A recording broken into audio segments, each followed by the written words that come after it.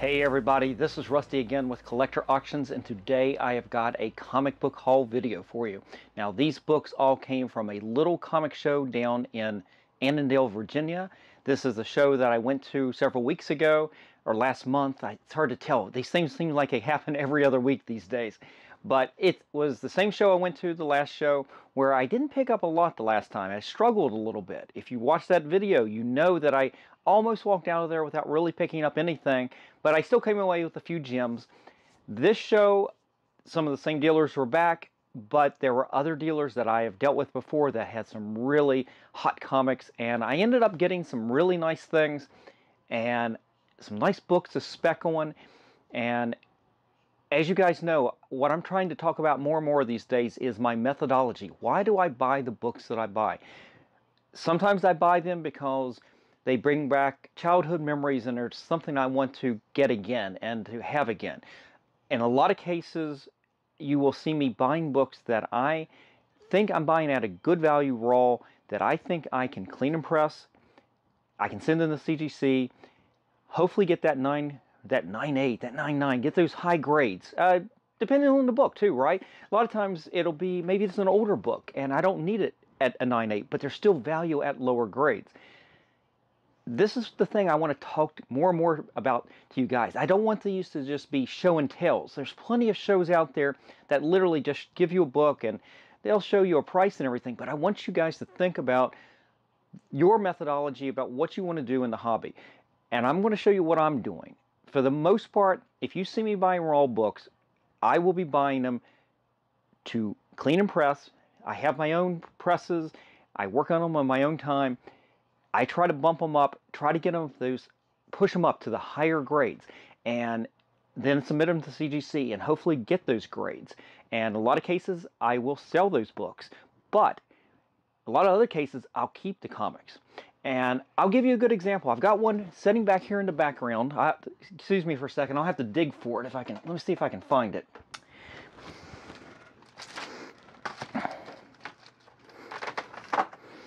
This is uh, this is a great example of a little bit about what I do in the shows here. Now, this book didn't come from a card show. This one actually came raw from Heritage Auctions. And this is a great example of what I'm talking about. Go find that raw book that maybe has some defects that can be worked on and then try to bump it up. This book I bought raw from Heritage Auctions, they had graded this as a VF I want to say a VF plus. Now, if you do the correlation, that grades out really, VF plus grades out to a 8.5. Well, I took this book, I looked at those pictures and I determined, okay, it's worth the gamble. I actually got it at a really good price. I don't, and again, I'm sorry, I, I, don't necessarily have the price here for you, but that's something you guys work on. Work on it yourself. You know, go look up the values of these books. Use your apps like CovrPrice and Key Collector. Those are the ones I use. And then compare them to eBay as well. What are the books being sold for? What are they be, uh, what are they selling for? And then look especially at what are they being sold at? Well, I bought this at a really good price raw from Heritage, even with all the fees. They had it graded as a VF minus, or a VF plus, I'm sorry. 8.5 is what it, that would have translated it to. I worked on this book. Now, I did this with a signature series with Walt Simonson. His signature's covered up a little bit right here. But I then, of course, submitted it to CGC. They uh, down at Heroes Con back in June, and just got it back recently, and I got a 9.6 on it. I bumped this thing up from potentially an 8.5 book all the way up to a 9.6. This is what I'm talking about. This is this is what I do. And it's what I'm trying to do. Every book you see, every book you see, I pull out of here. This goes through my mind. Now, in this hall, this was, like I said, a little comic book show. They actually had baseball cards and things like uh, sports cards as well. Um, that's another interest of mine, but it's not something I really even paid attention to at the show. I was definitely going down there for comics. And I will show you the books I'm talking about here. And I'm not I'm not going to get into too much of the prices. Sometimes you'll see the prices on what I paid, and I can talk about that a little bit.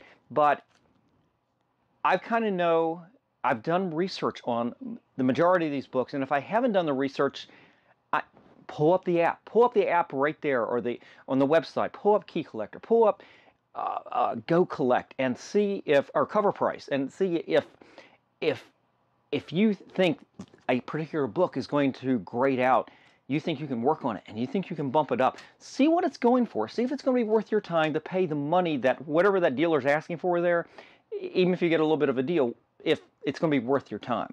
And that's what I did here. This is these hauls that I do. I, this is what I do. So I hope you guys take that and don't just sit back and say, Russ, why don't you give us the prices on everything? And I'm going, I, I guess part of it is I want you guys to go do the, you got to do the work yourself. These are books, every one of these books are books that I love. And I've got a passion for them, whether I sell them or keep them. And that that's a kind of a contributing factor to all this. I don't want this to be a video of this is what Rusty recommends you going out and getting. It's Like, no, but I will show you books that I think can work out really well for you. So let's see. This these are my books. All right, so for the first dealer, I'm just going to get into it, guys. So from the first dealer, I ended up buying some Fantastic Fours. And the one that caught my eye first was Fantastic Four 243. And this is becoming a more sought out issue. Let me back this up just a little bit. Let's see if we can see the whole thing. There you go. 240, this is 243. 244 is the big issue where you have Frankie Raye becoming Nova. But this is a Galactus cover that's becoming more and more sought out, especially now that we're going to have the FF in the MCU, in the movies and everything. And I've had tremendous luck with this book, pressing and cleaning books I've bought over the last year. I've gotten my nine sixes. I have gotten, I've even got a nine eight on one of these. Nine eight on a book like this right here. That's a easily a three hundred dollar plus book, and he had a price of 22 now i negotiated a little bit because i bundled a couple more books but so it's a couple dollars off of that. But this condition is really good. Now i don't think it'll be a 9.8 necessarily. There was a little tick over there.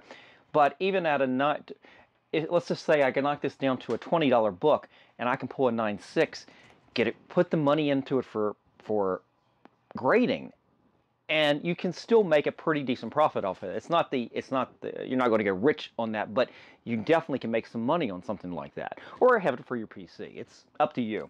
Okay, so I ended up picking up two more books from this particular dealer. He had two more Fantastic Fours that I absolutely love. I love these books. I've gotten at least one of the two of these graded in the past. I don't know if I got both of them yet or not, but I know I got this one right here graded. It says 247. Just a wonderful John Byrne Doctor Doom cover. This is probably one of the best Doctor Doom covers out there.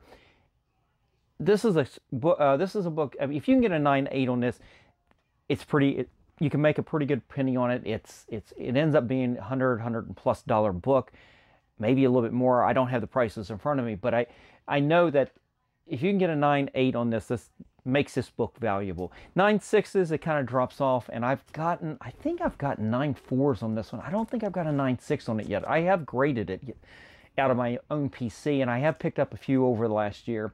But this copy for $6, and I said, eh, it's not, I didn't even pay $6 because uh, we bundled the price of these three books together and got it down a few dollars.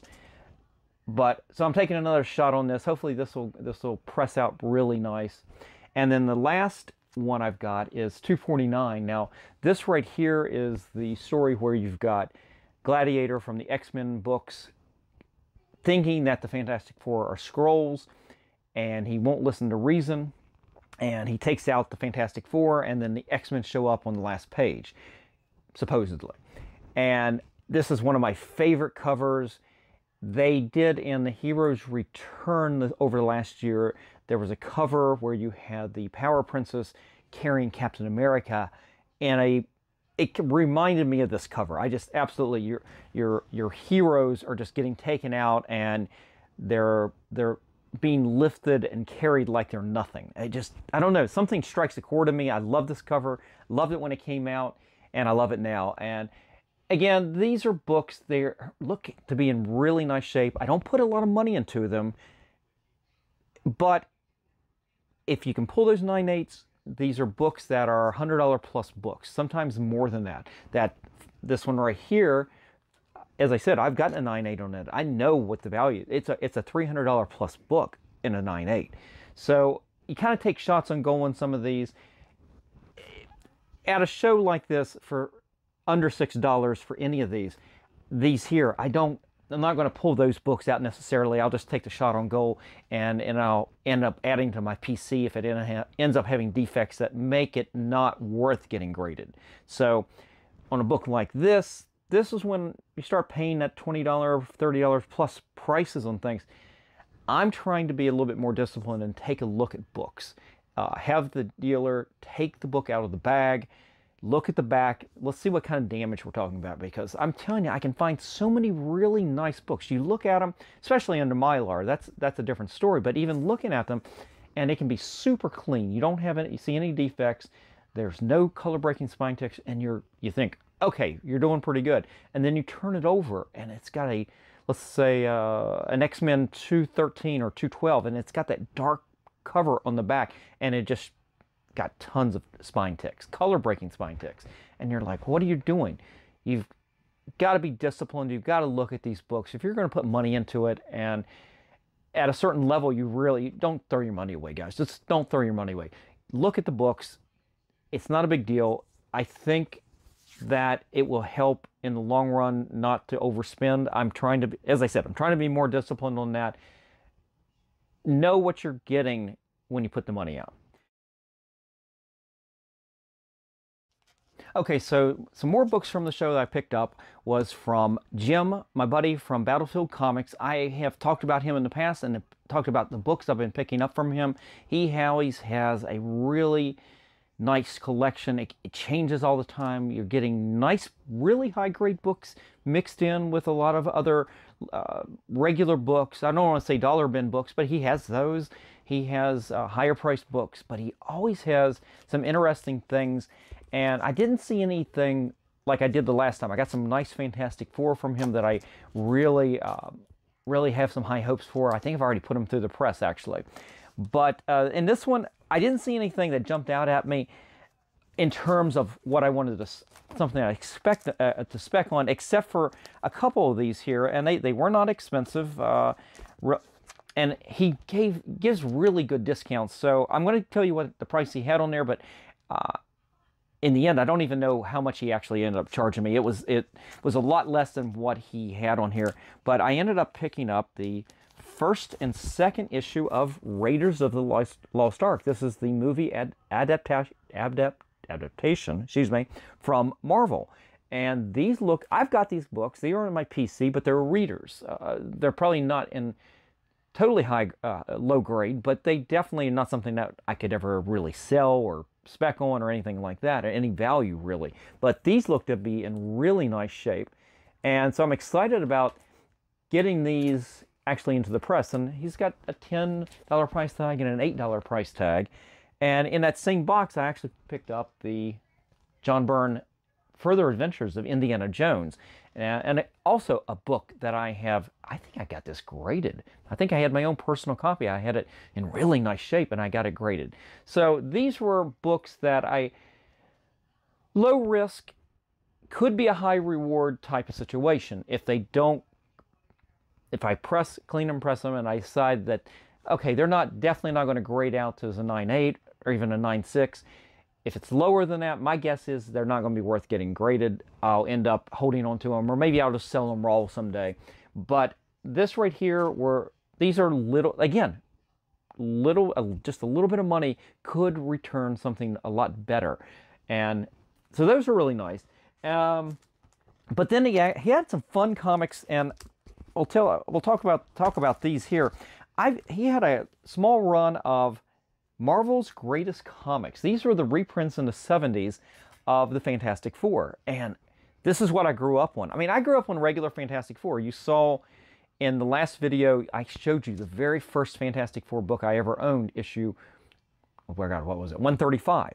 And but I was also getting other Marvels, and this book was out at the same around that same time.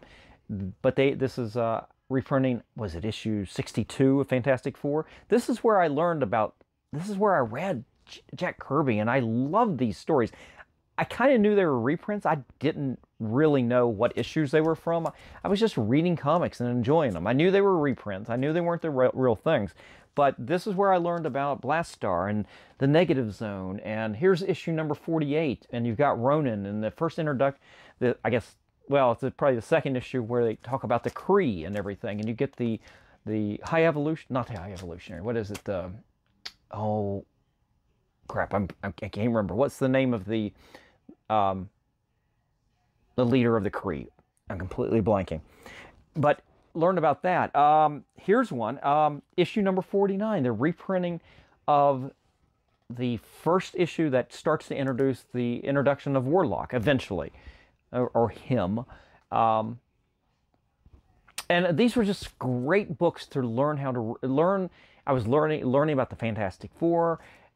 Back for many many years, you would go and read books, not just reprints, but any books, and they would have references. They would make a reference, and they would say they'd make they'd put a side note. Stan would have a side note on there. It's like see issue, basically see issue number such and such for the reference that, and that's how you kind of learned about your comics. And it's like, hey, I need to go out there and buy a back issue of issue number XX because it in this issue they talked about this, and I kind of want to learn more about that. So that was that was just a fun thing about these comics uh, growing up, just generally, not just reprints, but any of the comics from from back in the day.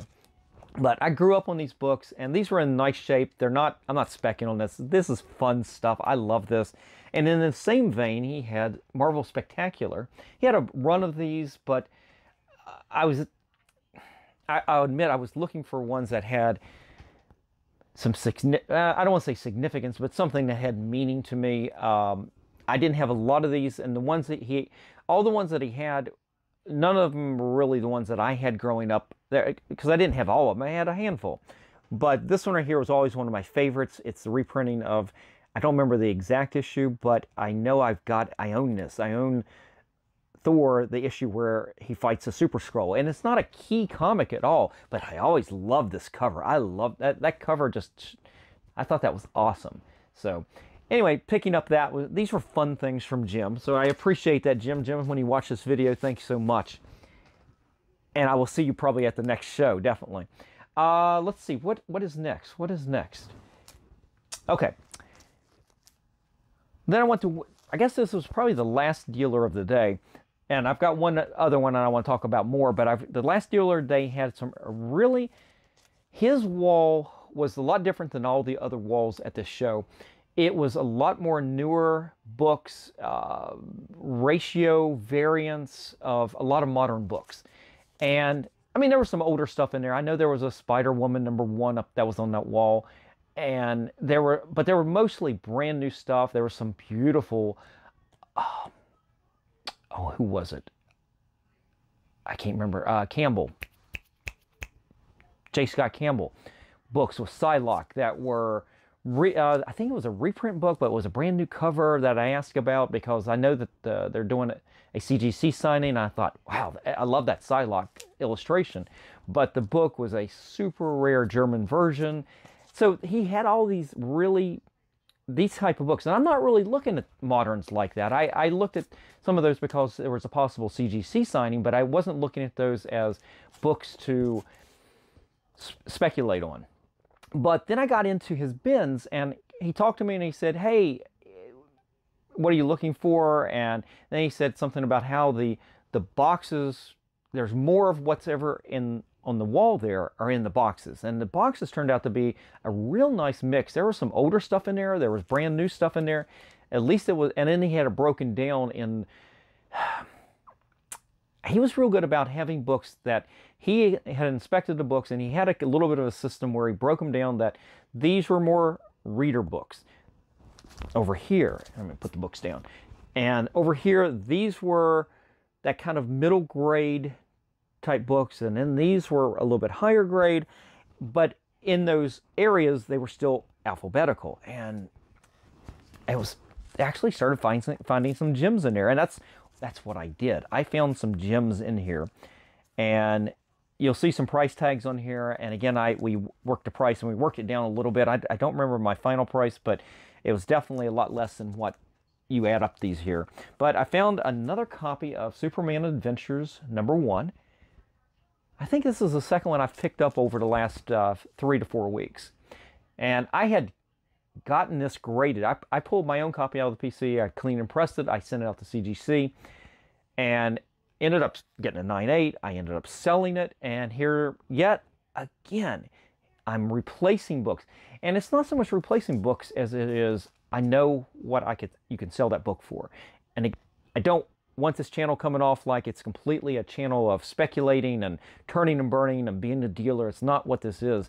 There are times when I will keep them in my collection. There's times when I will look for books that I can get graded and I can still sell this. If I can get another 980, I can still sell this and help pay for the parts of the hobby that I want to keep here. You know, I need to keep to keep to sell that so I can keep, you know, getting getting a Jim Steranko graded book here. You know, that stays in the PC. This can get sold. So it's kind of we all do this to a certain degree and I never want to come across as oh he's a dealer. That's that's the last thing I want to do, but I do want to do I kind of do what I do to help pay for a lot of this and watch my videos, go back and see the number of CGC boxings I've done. It has been a lot of money invested in this, and only some of that's going to stay in the PC. Uh, oh, moving on. So he had that. He had a issue of 245 Fantastic Four. This has gone up in value recently, and he had a price tag of 15 on there, but I kind of really need to actually go into my own PC and pull this. I know I have it. I had that whole John Byrne run. I had multiples of a lot of issues, but I don't know if I had. Um, I don't think I really started the multiples until we got into. I want to say into the two. It was about this time, but I don't know if I've got multiples of this. So I just went ahead and picked it up. Um, had a copy of Spider-Man number one, and in his boxes, he had multiples of some of these, not all of these, but this was a really nice copy. I've gotten a couple of graded myself. I think they're still in my PC. My favorite Scott McFarlane cover, I especially and especially the favorite one of the Spider-Man number ones. I did not like the gold one. I don't like the regular green cover. I love this. I've, i think I've actually got this signed. I, I met Todd McFarlane many years ago here in Baltimore, and I had him I could only get two autographs. That was my limit. Well, that was the limit they gave me. And I got this signed and I got Spawn number one signed. So they are getting ready to do a CGC signing with Todd McFarlane at the end of, I think it's the end of the month, or maybe it's in October. I'm not sure. I'll have to check the dates. But I'm like, okay, what books do I want? If I wanted to get something CGC graded and get that yellow label, what do I want? And this right here even though I've got a copy signed, it's not graded. And I'm sitting there going, I think I would do that all over again. I think I'd get a copy of Spawn number one and I get a copy of this. This is what I would still send to McFarlane. Even with all the other books that are out there, this is still what I would get signed. Um, this is a copy of a comic I don't think I had. Actually, I might have it, but I didn't have this cover. This is the Artgerm cover to 705, Mighty Thor 705 and just absolutely a stunning cover. And I know there's some spec on, I don't want to say spec, but it's there's some value on this book if you can get that 9.8. And I bought that strictly as a cover buy and a, completely as a speculation type book. And then the last book I picked up, and it looked super clean, spine tick free on the front, and so and I know it's a white border on the back. So I'm hoping that this right here, this is Batman 404 the Batman Year One, Frank Miller, Dave Mazzarelli. I've gotten my 9.8 on this before. It is a, this is another shot on goal on this. Hopefully this book will grade out the same. Uh, I'm looking forward to getting that one into the press as well. So these, that was a pretty, pretty good little haul right there.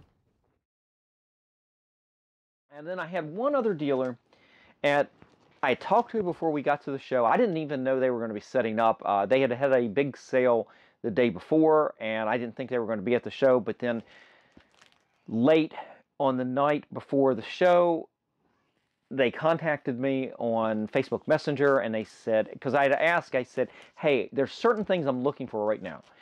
I, I'm still looking for certain issues of John Byrne's X Men run, and I'm looking for a New Mutants, I'm sorry, New Teen Titans number two, the first appearance of Deathstroke. I'm looking for a super high grade on on these. And he came back late that night and they said, sent me a picture and they said they've got something that they were going to bring to the show for me if I really wanted. And I said, hey, I'll definitely, I'll, I'll come, let me check it out. And that was a copy of X-Men 135, the first full appearance of Dark Phoenix. And just an absolutely striking cover. Man, that is, what a cover that is. And this is better than the one that I picked up off of Whatnot a few weeks ago. And one of, and you probably saw it in one of my last videos. This is a spectacular cover right here. And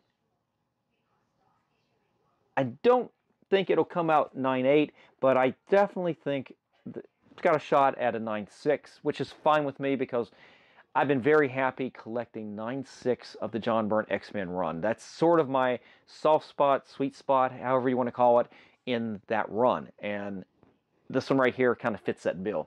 So that was the one I knew that it was bringing. So I started going through the boxes that they have, and and I ended up picking up. He had just picked up some really good books, and um, again, we you'll see some price tags maybe on here, but uh, we worked out a deal, so it wasn't quite what you see on here. But I picked up.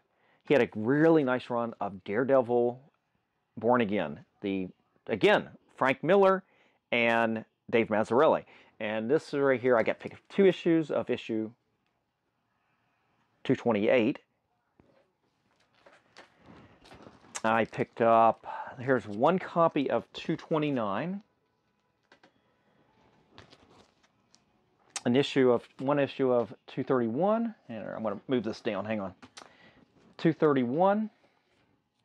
And then one copy of 233. And I've got all these, the issue 229. I don't think I only had one copy of this. Some of the other ones, all the other ones I had multiples. I think I only had one of this one for whatever reason. And again, all these books at 9 eighths and maybe 9 sixes have got some value.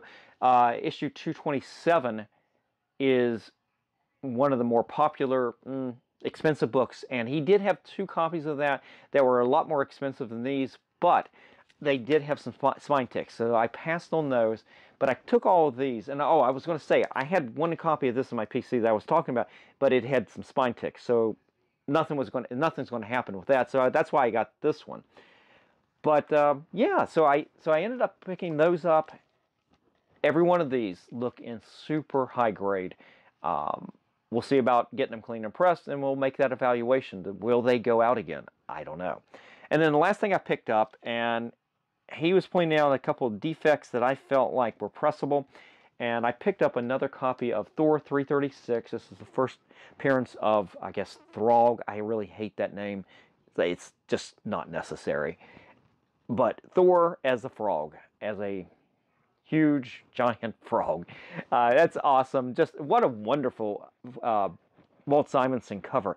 I think I've got a my original copy of this. I think I've gotten this signed, but from Walt Simonson, but it was many years ago at this point, and back in the day, most artists would open up the cover and they would sign down at the bottom at the splash page, and I think that is what I've got on that. So this right there, if I, this is one of those that might, if I press and clean it, get it to a really good shape, I might save it to do what I did with this one. And sorry about their light. And take it to Baltimore here in the next month and when Walt and his wife Louise are going to be there and see if I might get this one signed again on the cover so I can get it graded. Um, any books that I've got with autographs on the inside of the book, I'll never get graded. I, I, I it doesn't make sense to me. I don't want. I, I want to see those autographs. It, that's it's something. Just you telling me that it says on the label, oh, such and such has autographs on the inside. Well, that's awful. I mean, I don't how can you hide the autograph? I mean, that's part of that story of that comic that you have there, but if you can't see it, how do you really know it's there? And then you can't even enjoy it. So Uh, those books I'll not get graded, but if I get some of these again, I'll get them on the cover, and that way they can be presented and preserved and just an absolute keepsake. So, anyway, guys, that is it. I hope you got some takeaway from this video. Again, I'm getting away from this idea that this is just a show and tell. This is what Rusty bought because, oh, that's what he gets and this is the books he's into. Well, yeah, these are the books I I'm into. I love every one of these. I've read every one of these books. I love this stuff. This is this is my jam. This is my these are my books. And I I think you if you this part of this hobby, you've got to enjoy what you're doing. I, I, think you need to enjoy the books that you're getting. My passion is for these, and that's why I'm putting the time and care into these, into this process to bring it to other people, to bring it to my PC. And I want you guys to come away from this with a little bit of, I want you to go to the shows, I want you to pick up books, I want you to enjoy get what you want. And if you want to do this thing that I'm doing, you've got to go, you got to do the research, look it up. I use GoCollect and CovrPrice, and then also eBay. eBay sold price uh, for sold listings. Use these, use these tools, do your research, look up what these books, if you're going to get a raw and you want to get it graded and you want to sell it, you've got to know what they sell for at what at these grades and set them up have see what your range is from from high to low it's pretty easy it takes some time but do it and then you can go and take a look at this and say okay well he had a $25 price tag on here what about could if I we didn't work a deal and knock this down a little bit, let's just say $25. Can I put $25 into this and then turn around and put what's it going to be for just a regular modern submission at CGC? Uh, it's going to be 25 to well, probably closer to $30. So that's another $30 $30. So already let's just say you're into it for let's say a 35 plus 25 what is that? Um, was that 60 oh my god i can't add. Yeah so $60 if you can get a 9.8 on that what's your profit margin? What's your return on investment? This is something every one of you if you're going to do this you kind of got to do it. You've got to take into account. And you also have to know if you're going to sell it where do you sell it? You've got to understand that there are seller fees all over the place and that's part of the game if there's other avenues where you don't have seller's fees, but you, you it's a lot more trouble sometimes. It's up to you guys. It's, this is all you guys have got to do your own journey on this. I'm going to try to lead the way. I'm not going to tell you how to do this. I'm just going to show you what I'm doing and encourage you to take some of the similar steps that I'm taking. Hopefully, you'll get something out of it. So, that's it, guys. I'm done rambling. Hope you enjoyed this video. Hope you enjoyed this haul. Let me know in the comments what you think of the books and what do you think of the process. I look forward to hearing from you and reach out. Let me know what books you're getting and what, what is your process. Am I off base?